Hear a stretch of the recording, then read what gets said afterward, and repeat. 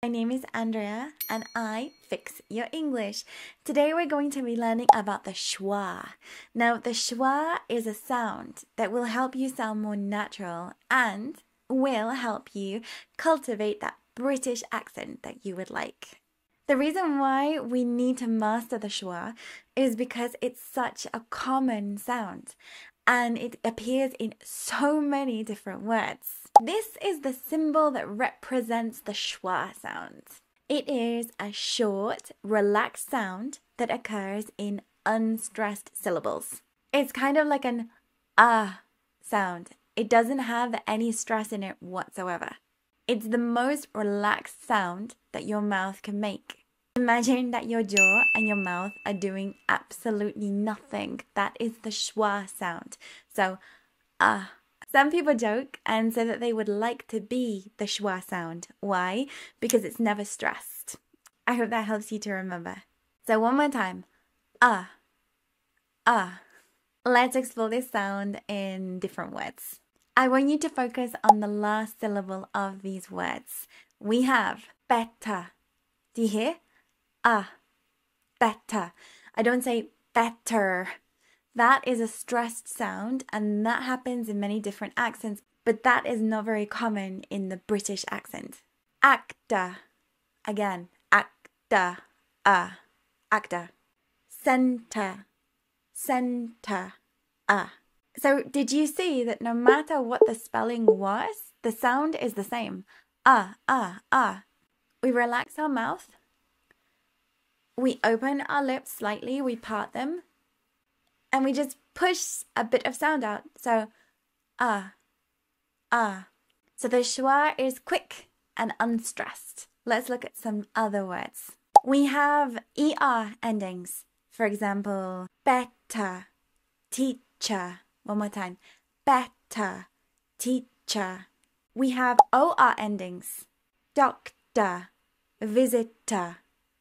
Doctor, visitor. We have AR endings, calendar, vicar, and we also have URE endings, nature, culture. So no matter the ending, these words sound the same.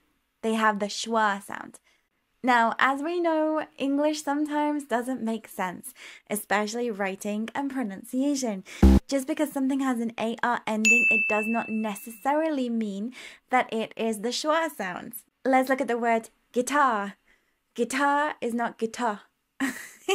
it's guitar, which is a slightly different sound. All I can give you here is a rule of thumb, but if in doubt, please check the dictionary and check for this special symbol. So we know that the schwa can be at the end of a word, but did you know that the schwa can also be at the beginning of the word? For example, we have America. Do you hear? America. America. We also have police. Police. Ah, police. This schwa sound sticks the syllables together in a very natural way. Okay, another thing to note is that the comparative adjectives use the schwa sound. So we have lighter, softer, bigger. There are also patterns. For example, if we have a CT in actor, we use the schwa. If we have a double R or a double S, we also use the schwa. That would be horror or successor. We have the uh sound. Okay, let's practice. I'm going to give you some sentences and I want you to pronounce them with me. Listen out for that schwa sound. My mother is a doctor. My mother is a doctor. The teacher gave me an answer. The teacher gave me an answer. Can you bring the butter to the table? Can you bring the butter to the table? Let's do a quick quiz. Can you hear the schwa sound? Number one, calendar. Calendar. Which syllable is the schwa sound? Nature. Nature.